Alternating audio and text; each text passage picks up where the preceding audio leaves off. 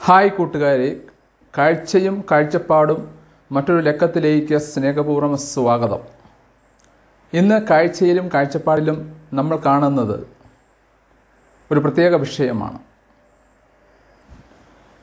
അടുത്ത കുറേ ദിവസങ്ങളായി നമ്മുടെ എല്ലാ പത്രമാധ്യമങ്ങളിലും ട്രെൻഡിങ് ആയ ഒരു വിഷയമാണ് ഒരു വാർത്തയാണ് ഈ വിസ്മയ എന്ന പെൺകുട്ടിയുടെ ആത്മഹത്യ. അതിന്റെ വെളിച്ചത്തിൽ കല്യാണമല്ല സ്വന്തം കാലിൽ നിൽക്കുകയാണ് പ്രധാനം എന്ന തലക്കെട്ടിൽ മാതൃഭൂമിയിൽ വന്ന ഒരു വാർത്തയുണ്ട്. ഞാൻ സൂചിപ്പിക്കാറുള്ളതുപോലെ ഇത് കേൾക്കുന്ന നിങ്ങൾ കാണുന്ന നിങ്ങൾ ചിന്തിക്കുന്നവരാണെങ്കിൽ മാത്രമേ ഇനി മുന്നോട്ട് പോകാവുള്ളൂ. കാരണം ചിന്തിക്കുന്നവർക്ക് വേണ്ടിയുള്ളതാണ് ഇങ്ങനെയുള്ള വാർത്തകളൊക്കെ. അപ്പോൾ ഇത് മുഴുവൻ നമ്മൾ പൂർണമായി ഉൾക്കൊള്ളുക എന്നുള്ള എന്നുള്ളതല്ല അതിന്റെ അർത്ഥം. അതിലുപരിയായിട്ട് ഇതിലെ ചില കാര്യങ്ങൾ നമ്മളെ ചിന്തിപ്പിക്കണം. നമ്മുടെ ഭാവി ജീവിതത്തിന്റെ നന്മയെ കരുതി. എല്ലാം നമുക്ക് ഉൾക്കൊള്ളാനാവില്ല. പക്ഷേ ഇർഗോദത്തിൽ പറയുന്നത് പോലെ തെക്കു നിന്നും വടക്കു നിന്നും പടിഞ്ഞാറ് നിന്നും കിഴക്കു നിന്നും വരുന്ന നല്ല നല്ല കുറേ ചിന്തകൾ ആ ചിന്തകൾ നമ്മളെ സ്വാധീനിക്കണം. അതിൽ ഇതിൽ ഈ ഒരു ലേഖനത്തിൽ നമ്മൾ ഒന്ന് മനസ്സിലാക്കാൻ ശ്രമിക്കുകയാണ്. ആ ലേഖനത്തിലെ ചില സന്ദേശങ്ങളും ചില ചിന്തകളുമെങ്കിലും നമ്മളെ തീർച്ചയായും പോസിറ്റീവായിട്ട് ക്രിയാത്മകമായിട്ട് ചിന്തിക്കാൻ സഹായിക്കും എന്ന പ്രത്യാശയോടെ നമുക്ക് ഈ ലേഖനത്തിലേക്ക് കടന്നു വരാം. ഗാർഹിക പീഡനത്തിന് വിധേയരാവുന്ന പെൺകുട്ടികൾ ആത്യന്തികമായി വിരൽ ചൂണ്ടുന്നത് നമ്മൾ ജീവിക്കുന്ന വ്യവസ്ഥയുടെ നേർക്കാണ്. ഈ വിഷയത്തിൽ ഒരു ക്ലാസിക് പാഠപുസ്തകമുണ്ടെങ്കിൽ അത് നെഹ്റു കുടുംബമാണ്. നമുക്ക് കമല നെഹ്റുവിൽ നിന്ന് തുടങ്ങാം. സമ്പത്തിലും പ്രതാപത്തിലും പാരമ്പര്യത്തിലും കമലയുടെ കുടുംബം നെഹ്റുവിന്റെ കുടുംബത്തിന് പിന്നിലായിരുന്നില്ല. പക്ഷേ കമലയ്ക്ക് ഇംഗ്ലീഷ് വിദ്യാഭ്യാസം ഉണ്ടായിരുന്നില്ല. ഫോർക്കും കത്തിയും ഉപയോഗിച്ചുള്ള പടിഞ്ഞാറൻ തീന്മേശ ആചാരങ്ങളും കമലയ്ക്ക് വശമുണ്ടായിരുന്നില്ല. നെഹ്റുവിന്റെ അമ്മ സ്വരൂപ് റാണിക്കും പെങ്ങൾ വിജയലക്ഷ്മി പണ്ഡിറ്റിനും കമല അന്നിയും അവരെയുമായി. ജവഹർലാൽ നെഹ്റുവിന്റെ ഭാര്യയായി കടന്നു വന്ന കമല പക്ഷേ കമലയെ സംബന്ധിച്ചിടത്തോളം വീട്ടിൽ ഇഷ്ടം പോലെ ഉണ്ട് പ്രതാപമുണ്ട് പാരമ്പര്യമുണ്ട് പക്ഷേ ഇംഗ്ലീഷ് അറിയത്തില്ല.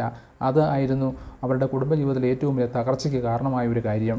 അത് നമ്മൾ വായിക്കുന്നുണ്ട് പ്രത്യേകിച്ച് ഇന്ദിരാഗാന്ധിയെക്കുറിച്ചുള്ള പുസ്തകത്തിൽ മനോഹരമായിട്ട് കാതറീൻ ഫ്രാങ്ക് അത് പറയുന്നുമുണ്ട് ഈ കാര്യങ്ങളെക്കുറിച്ച്. ഫിറോസിനെ അഗാധമായി പ്രണയിച്ച് പ്രണയിച്ചിരുന്നപ്പോഴും ഫിറോസിന് മുന്നിൽ തന്റെ വ്യക്തിത്വം അടിയർ വഹിക്കാതിരിക്കുവാൻ ഇന്ദ്രിയ പ്രത്യേകം ശ്രദ്ധിച്ചിരുന്നു. ഒരർത്ഥത്തിൽ കമലയും നെഹ്റുവും തമ്മിലുണ്ടായിരുന്ന അന്തരം ഇന്ദ്രിയും ഫിറോസും തമ്മിലും ഉണ്ടായിരുന്നു നെഹ്റുവിന്റെ സ്ഥാനത്ത് ഇന്ദ്രിയും കമലയുടെ സ്ഥാനത്ത് ഫിറോസുമായിരുന്നുവെന്നതായിരുന്നു വ്യത്യാസം. ഫിറോസിന് നെഹ്റുവിനേക്കാൾ അടുപ്പം കമലയോടായിരുന്നുവെന്നതും ശ്രദ്ധേയമാണ്. ഇന്ത്യയിലെ സ്കൂളുകളിലും കോളേജുകളിലും പാഠ്യവിഷയമാക്കേണ്ട ഒരു ഇന്ത്യൻ വനിതയുടെ ജീവിതമുണ്ടെങ്കിൽ അത് മനേകയുടെ ജീവിതമാണ്. സ്വന്തം കാലിൽ നിൽക്കാനുള്ള പോരാട്ടമായിരുന്നു ആ കാലത്ത് തന്റെ ജീവിതമെന്ന് മനേക പറഞ്ഞിട്ടുണ്ട്. നെഹ്റു കുടുംബത്തിലെ മൂന്ന് സ്ത്രീകളെ ഇന്ദിര സോണിയ മനേക അടുത്തറിഞ്ഞാൽ ഒരു ഇന്ത്യൻ പെൺകുട്ടിക്കും വിസ്മയുടെ ദുരവസ്ഥ ഉണ്ടാവില്ല. ഏത് പ്രതികൂല സാഹചര്യവും മറികടക്കേണ്ടത് എങ്ങനെയാണെന്ന് ഈ സ്ത്രീകൾ നമ്മോട് പറയുന്നുണ്ട്. കൂട്ടുകാരെ ഇവരെക്കുറിച്ചുള്ള നല്ല ജീവചരിത്രങ്ങളുണ്ട്. വായിച്ച് നോക്കുക. ഇവർക്ക് മുമ്പ് ജീവിതം സമരമാക്കിയ ഒരു സ്ത്രീയെയും ഇവിടെ അനുസരിക്ക അനുസ്മരിക്കേണ്ടതുണ്ട്. ഗാന്ധിജിയുടെ ഭാര്യ കസ്തൂർബ നാടിനെയും നാട്ടുകാരെയും നന്നാക്കാനായി ഗാന്ധിജി ഓടി നടന്നപ്പോൾ മക്കളെ മാത്രമല്ല ഗാന്ധിജി സ്ഥാപിച്ച ആശ്രമങ്ങളെ നോക്കി നടത്തിയത് കസ്തൂർബയാണ്. ഒരു പൊതുക്കാര്യത്തിനായി കുറച്ച് പണത്തിന്റെ കുറവ് വന്നപ്പോൾ ഗാന്ധിജി ഒരു കസ്തൂർബയോട് കയ്യിലുള്ള സ്വർണവള ആവശ്യപ്പെട്ടു. തരാൻ പറ്റില്ലെന്ന് കസ്തൂർബ പറഞ്ഞു. വളയുണ്ടാക്കിയത് തന്റെ കാശ് കൊണ്ടാണ് കാശ് കൊണ്ടാണെന്നായി ഗാന്ധിജി. അപ്പോൾ അതിന് കസ്തൂർബ നൽകിയ മറുപടി ചരിത്രമാണ്. ഗാന്ധിജിയുടെ കാശെന്ന് പറഞ്ഞാൽ തന്റെ കൂടി കാശാണെന്നും ഗാന്ധിജി പൊതുക്കാര്യങ്ങൾ നോക്കുന്നത് പോലെയാണ് താൻ വീട്ടിലെ കാര്യങ്ങൾ നോക്കുന്നതെന്നുമായിരുന്നു കസ്തൂർബയുടെ മറുപടി. സ്ത്രീ വിമോചനത്തെക്കുറിച്ചുള്ള ഗാന്ധിജിയുടെ കാഴ്ചപ്പാടുകൾ മാറ്റിമറിച്ചത് കസ്തൂർബയുടെ ഈ മറുപടി ആയിരിക്കണം. ഗാർഹിക പീഡനങ്ങളുടെ ആദ്യ ഇരകളിൽ ഒന്ന് ഗൗതമബുദ്ധന്റെ ഭാര്യ യശോദരയായിരിക്കണം രാത്രിക്ക് രാത്രി മോഷം തേടി മകനെയും തന്നെയും മകനെയും ഉപേക്ഷിച്ച് സിദ്ധാർത്ഥൻ ഒളിച്ചോടുമ്പോൾ യശോധര അതിനെ എങ്ങനെയാണ് നേരിട്ടതെന്ന് നമുക്കറിയില്ല. മോശം എന്നത് ആണുങ്ങൾക്ക് മാത്രമുള്ളതല്ലെന്ന് പിന്നീട് എപ്പോഴെങ്കിലും നേരിട്ട് കണ്ടപ്പോൾ യശോദര ബുദ്ധനോട് പറഞ്ഞിട്ടുണ്ടോ എന്നും നമുക്കറിയില്ല. ഭർത്താവിനെയും മക്കളെയും ഉപേക്ഷിച്ച് കാമുകർക്കൊപ്പം പോകുന്ന സ്ത്രീകളെ സദാചാര വിചാരണങ്ങൾക്ക് വിധേയമാക്കും മുമ്പ് അവരോട് ഈ ഭർത്താക്കന്മാരും അവരുടെ കുടുംബങ്ങളും എന്താണ് ചെയ്യേണ്ടതെന്ന് നമ്മൾ അന്വേഷിക്കേണ്ടതുണ്ട്. ഇവിടെ ഒരു കാര്യം ശ്രദ്ധിക്കണം. നമുക്കറിയാം ഗൗതമ ബുദ്ധമനെയൊക്കെ വളരെ നമ്മൾ പൊക്കിപ്പിടിച്ച് പറയാറുണ്ട്. പക്ഷേ ഗൗതമ ബുദ്ധമൻ ചെയ്തത് ശരിയാണോ? രാത്രിക്ക് രാത്രി അയാൾ മോഷം തേടി പോകുന്നത് പ്രിയപ്പെട്ട തന്റെ ഭാര്യയെയും മകനെയും ഉപേക്ഷിച്ചിട്ടാണ്. അത് ശരിയാണെന്ന് പറയാനാവുമോ? ചിന്തിക്കുക. ഒരാണിനും സമർപ്പിക്കേണ്ടതല്ല സ്ത്രീയുടെ ജീവിതം. അത് അവൾക്ക് സ്വയം ആസ്വദിച്ച് ജീവിക്കാനുള്ളതാണ്. From your loving Indu boy എന്നല്ല ഇന്ദു ഗേൾ എന്ന് തന്നെ നമ്മുടെ പെൺകുട്ടികൾക്ക് എഴുതാനാവണം. എന്ന് പറഞ്ഞാൽ ഇവിടെ നമ്മൾ തുടക്കത്തിൽ കണ്ടു. ജവഹർലാൽ നെഹ്റുവിന് ഇന്ദിരാഗാന്ധി എഴുതിക്കൊണ്ടിരുന്നത് എഴുത്തിൽ അവസാനം കൊടുത്തിരുന്നത് from your loving Indu boy എന്നാണ്. കാരണം അവർ ആഗ്രഹിച്ചിരുന്നത് കമലാ നെഹ്റുവും അല്ല അല്ലെങ്കിൽ ജവഹർലാൽ നെഹ്റു ആഗ്രഹിച്ചിരുന്ന അവർക്കൊരു ആൺകുട്ടി ഉണ്ടാകണമെന്നായിരുന്നു അന്നേരമാണ് ഇന്ദിരാഗാന്ധി ജനിക്കുന്നത്. അപ്പോൾ അതുകൊണ്ട് അവളെ സാധാരണ എഴുത്ത് എഴുതുമ്പോൾ Indira Gandhi എഴുതുമായിരുന്നു from your loving Hindu boy എന്ന് അച്ഛനായ ജവഹർലാൽ നെഹ്റുവിന് എഴുതുമായിരുന്നു. പക്ഷേ അങ്ങനെയല്ല എഴുതേണ്ടത്. ഹിന്ദു ഗേൾ എന്ന് തന്നെ നമ്മുടെ പെൺകുട്ടികൾക്ക് എഴുതാനാവണം. ഇവിടെ ഒരുപക്ഷെ ഈശ്വര ഭക്തർക്ക് വിഷമം വരുന്ന ഒരു കാര്യം കൂടെ നമ്മുടെ ലേഖകം പറയുന്നുണ്ട്. നമ്മുടെ പെൺകുട്ടികൾ കായിക പരിശീലനം നേടേണ്ടതിന്റെ ആവശ്യകതയും വിസ്മയുടെ മരണം വിളിച്ച് പറയുന്നുണ്ട്. ചവിട്ടാൻ ഉയർത്തുന്ന കാൽ വലിച്ച് നിലത്തിടാനും നമ്മുടെ പെൺകുട്ടികൾക്ക് ആവണം. വിവാഹമോചനം നേടി രണ്ട് കുട്ടികളുമായി നാട്ടിൽ തിരിച്ചെത്തിയ മേരി റോയിയാണ് കേരളത്തിൽ ക്രിസ്ത്യൻ കുടുംബങ്ങളിലെ അസമത്വത്തിനെതിരെ പോരാടിയതെന്നും വിജയിച്ചതെന്നും മറക്കരുത്. എന്താണ് മേരി റോയിയുടെ സംഭാവന എന്ന ചോദ്യത്തിന് ഞാനാണ് മേരി റോയിയുടെ സംഭാവനയെന്ന് ഒരു അഭിമുഖത്തിൽ അരുന്ധതി റോയി പറയുന്നുണ്ട്. അസമത്വങ്ങൾക്കും അനീതികൾക്കുമെതിരെയുള്ള നിരന്തര പോരാട്ടമായി അരുന്ധതിയുടെ ജീവിതം മാറുന്നതിൽ തീർച്ചയായും അമ്മ മേരിയുടെ പങ്ക് നിർണായകമാണ്. നമുക്കറിയാം കേരളത്തിൽ വിവാഹമോചനം നേടി പെൺമക്കൾക്കും തുല്യ അവകാശം പിതാക്കന്മാരുടെ സ്വത്തിൽ തുല്യ അവകാശമുണ്ട് എന്ന വിധി നേടിയെടുത്ത വ്യക്തിയാണ് മേരി റോയ്. അവർ ഭർത്താവിന്റെ ചുമ്മാ അനാവശ്യമായ അടി ഇടിയൊന്നും വാങ്ങിച്ച് കെട്ടി ഇവിടെ കിടക്കാതെ വിവാഹമോചനം നേടി രണ്ട് കുട്ടികളുമായി നാട്ടിൽ അവർ തിരിച്ചെത്തി വിദേശത്തായിരുന്നു.